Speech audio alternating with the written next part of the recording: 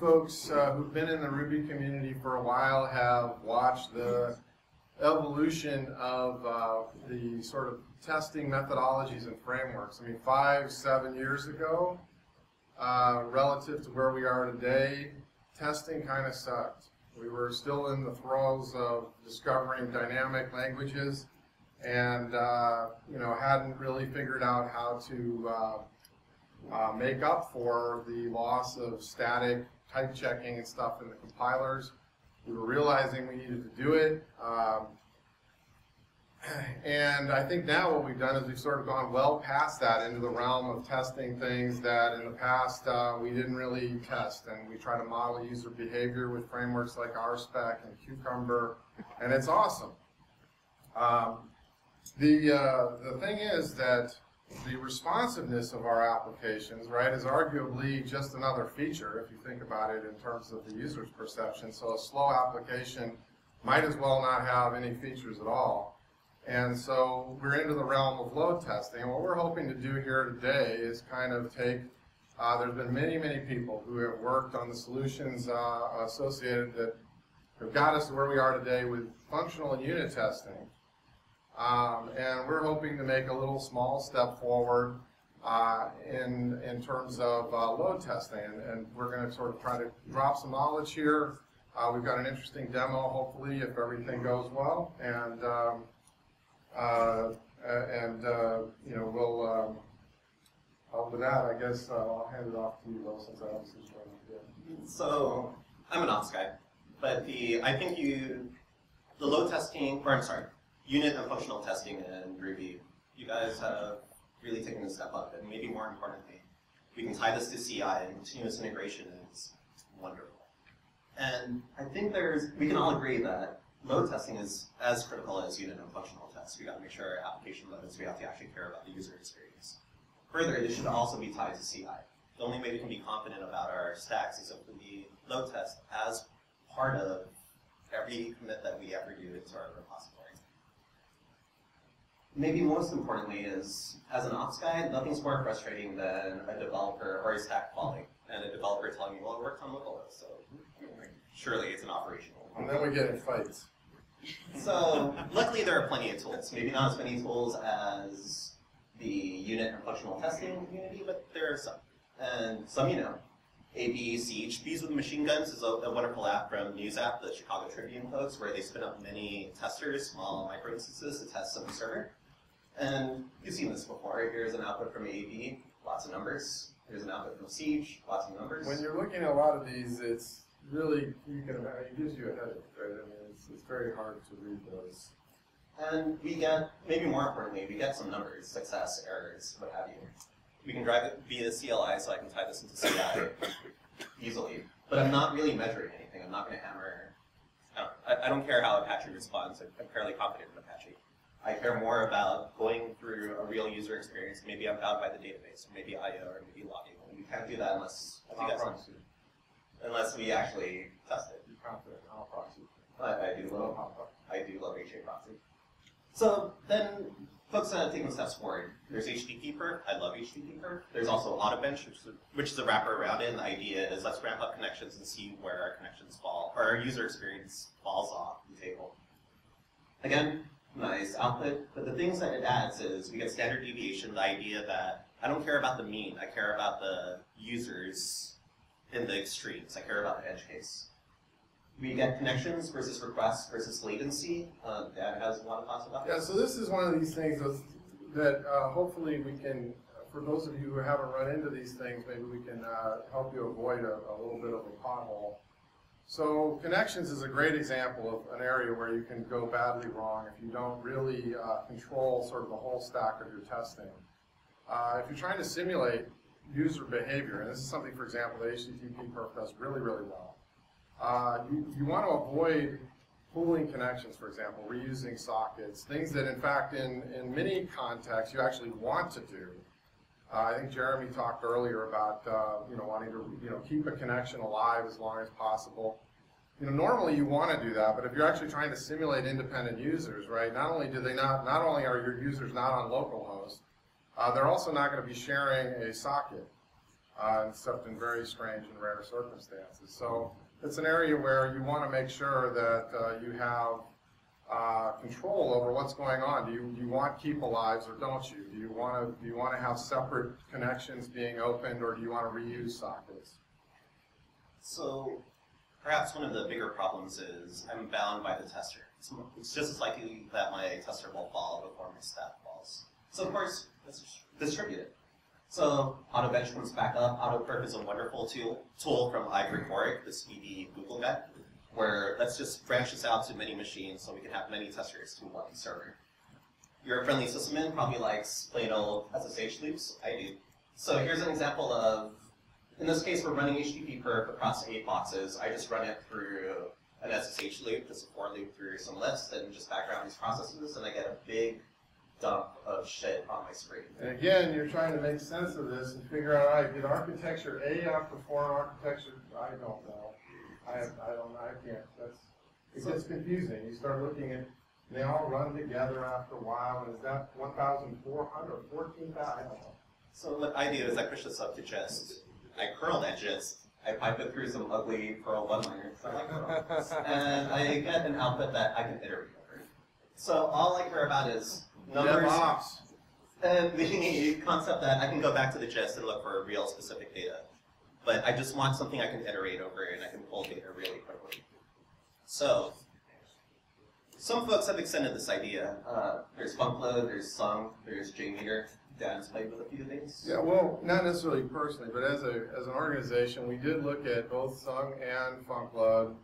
The short version is, uh, or not FunkLoad, uh, JMeter. We didn't really want to do the Java stuff, uh, to do JMeter, and we didn't really want to deal with all the XML stuff. They're, but they're, they're on the right track, and this reminds me again of the evolution of these kinds of tool sets. Uh, again, if we look at performance and responsiveness as an app as a usability thing, this is really kind of just as, uh, an extension of what we already do with TDD and RSpec and Cucumbers.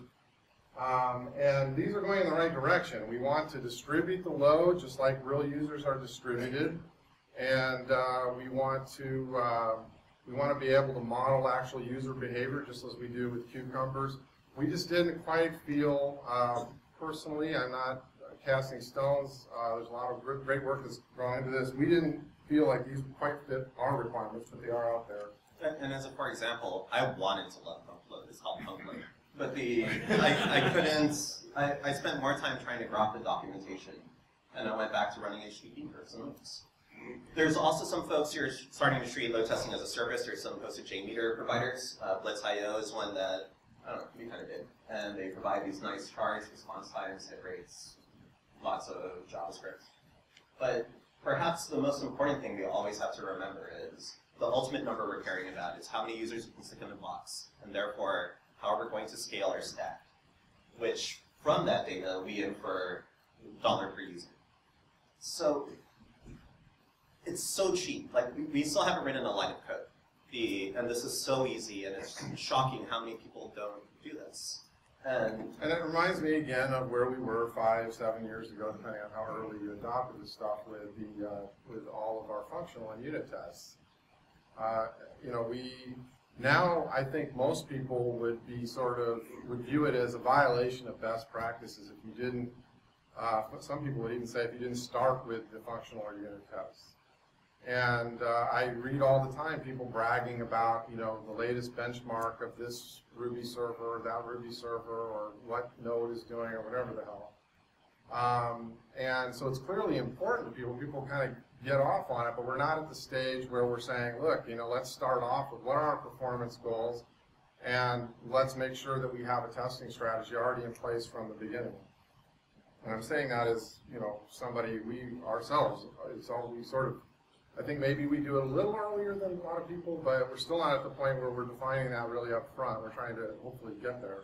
And, and while these tools aren't quite all the way there, we, we can identify it, much like the testing problem. Let's identify our problems and let's make it better. So, we give a gift to you. We have an AWS in your mind, it's public, it has all these tools, it has many more. I like GitHub, there's Shane Becker, or I'm sorry, Evan Phoenix once put up a gist recently, a couple months ago, of how he load tested, and I found that interesting. So you've got a bunch of stuff in opt, a bunch of projects, it's yours. We also tuned the kernel, uh, so you're not going to get blocked by a ulimit. You're not going to get blocked by, I don't know, max backlogs and time wait, or max backlogs into And this was, this, so this is a product, we, we, we've been going through many, many iterations of, uh, the stuff that we're gonna present here. Uh, and this is a product of a lot of learning that we've gone through, packaged up into, this is the AMI that we basically use when we're going to spin up a box that we're gonna do load testing, so we thought we'd share that, and, uh, you know, love, love Carlo. So, the, mind you, by this kernel tuning, this is not a production server. This is a load tester where the kernel will not save you. Your, your shit will fall. So, but the idea is I want to make my stack fall before I make my load tester fall. So you just simply need more load testers.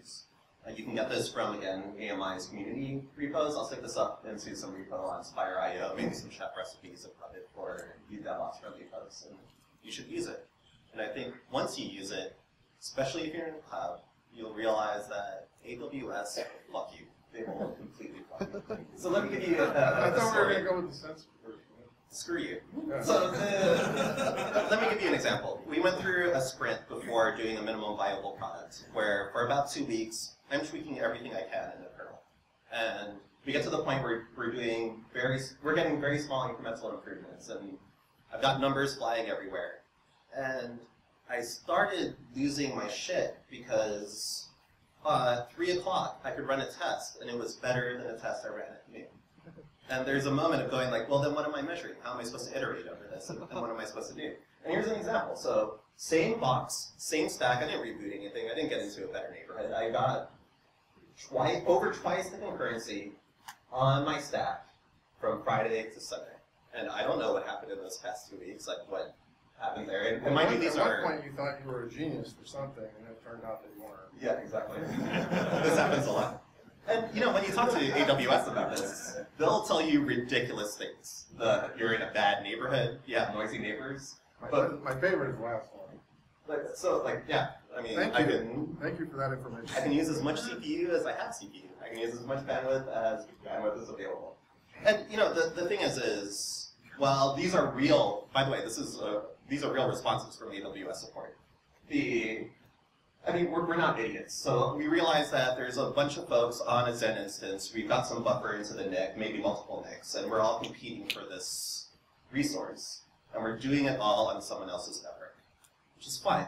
The- this is why we went into the cloud for the first place. We can spin down boxes, we can spin up boxes, and we trade this convenience. But the thing to remember is, I'm talking about an expensive box. This isn't cheap, like that, that benchmark I showed you. And I'm getting a C1 extra large because I know I'm going to be CPU bound. But I never get CPU bound because I'm blocked by the NIC.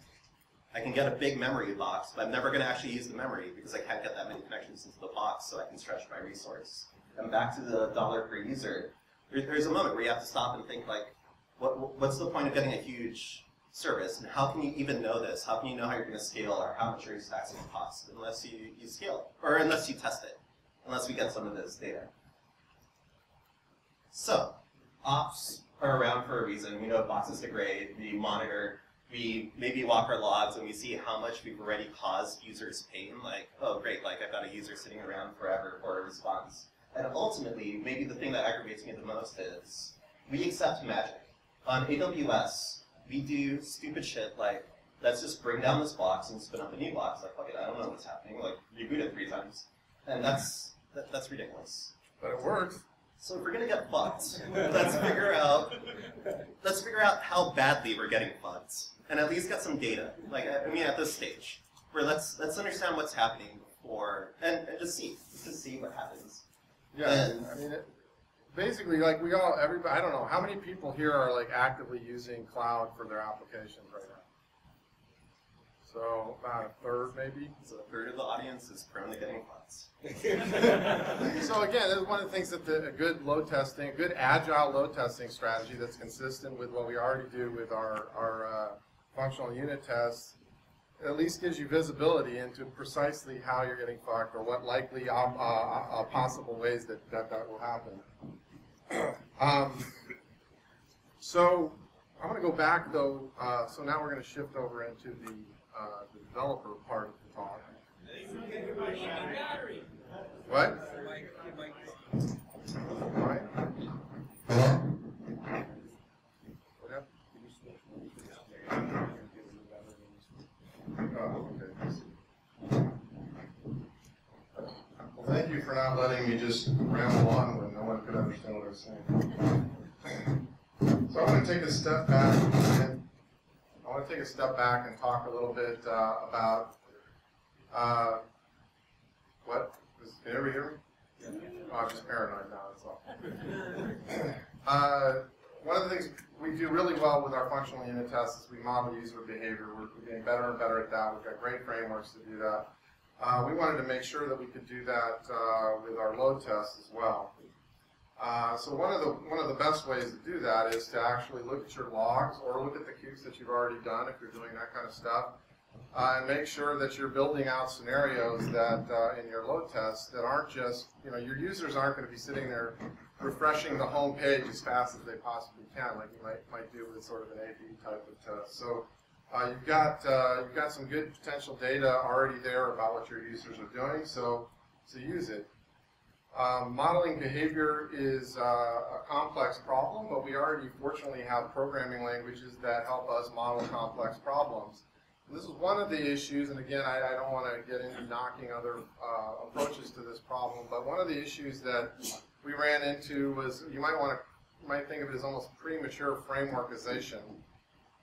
Uh, I literally just made that up.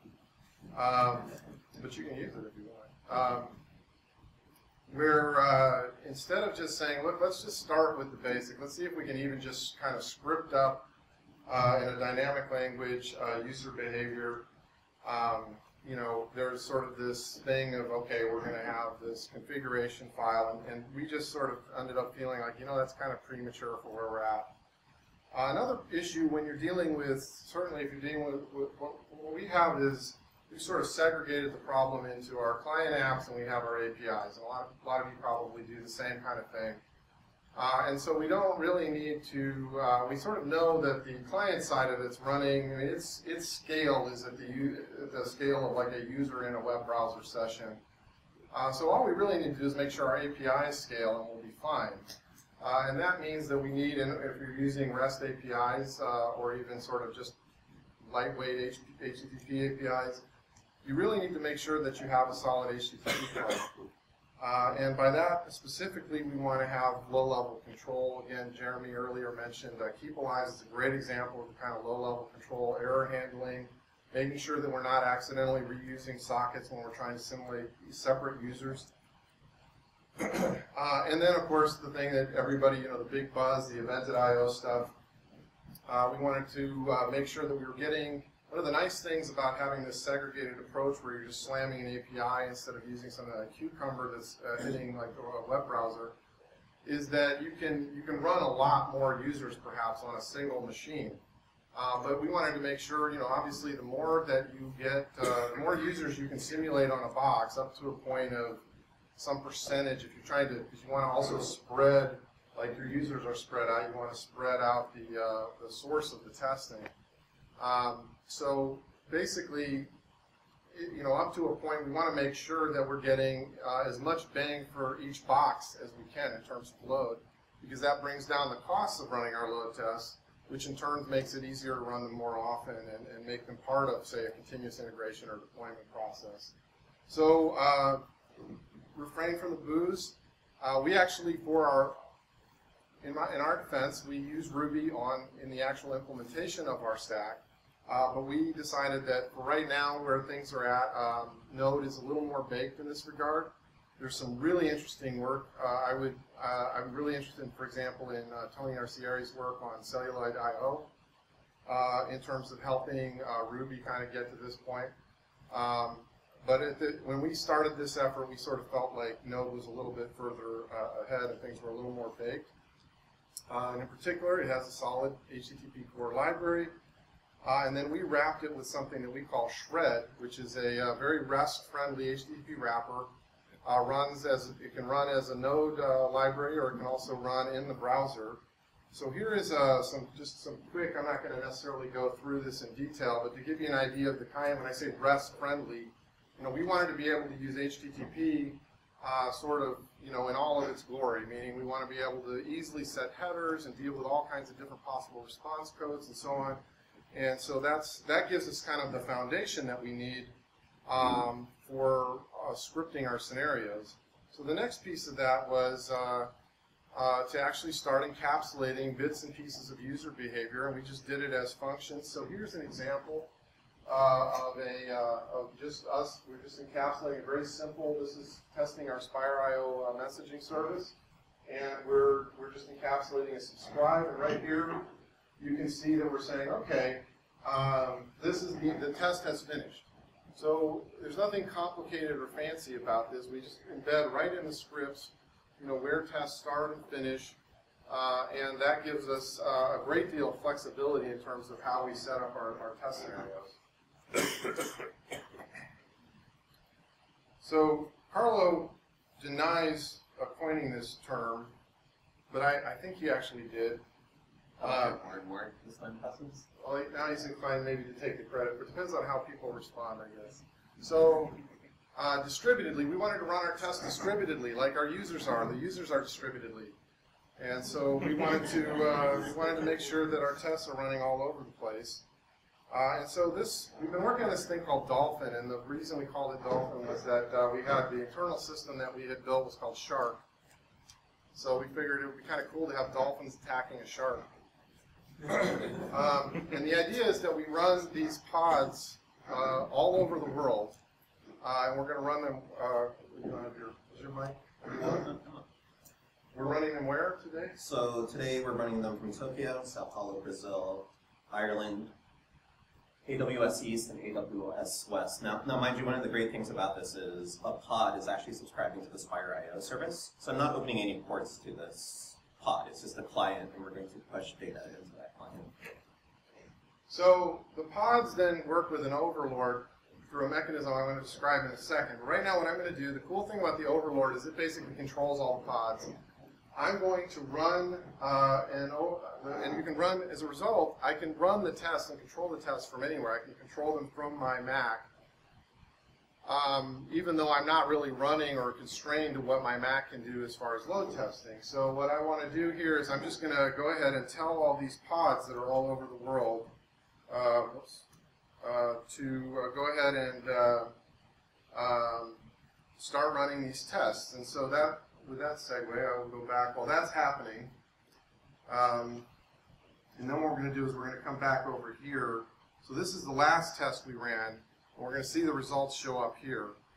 Um, but while that's running, I'm going to talk just for a second about um, the, uh, the architecture that we're testing, just so you have an idea what we're testing, and also then how the Dolphin architecture works. So basically, without going into a lot of detail, we put a lot of time in this diagram.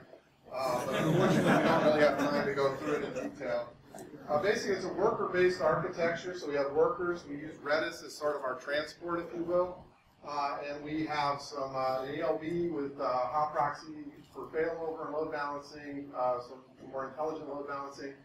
And then we got these dispatchers, and all the dispatch, the dispatcher's job, and this again goes to the point Jeremy made in his presentation, all the dispatch, their job is to sort of process those things as quickly as possible, either turn them into tasks or return an error, uh, and then from there the workers go, and so that way we don't ever have sort of the equivalent, especially in combination with the uh, use of evented IO there, we don't have any long-running requests uh, to block anything.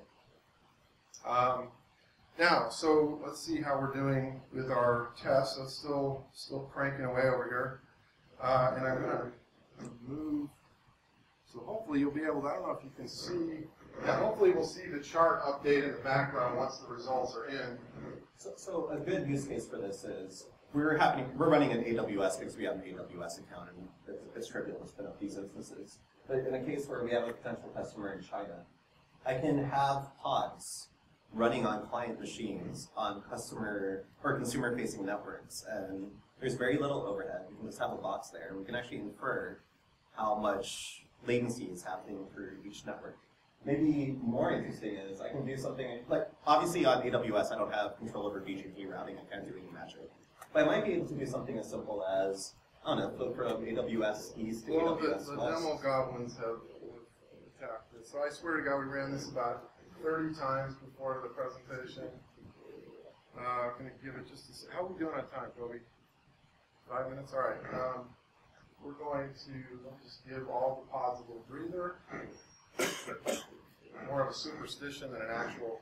So hopefully this time it will. We got eight. Okay, we got eight. So we can do something as, as simple as actually understand the user experience. Like, or in the case of California, I can have um, enough pods to get a statistical sample now on Roadrunner, and I can have a bunch of them on Comcast. And it turns out Comcast has a shitty connection to North, Northern California, but maybe it's great over to Oregon. So let's float them. Let's float this service. Let's let's get these guys where they get their service fastest.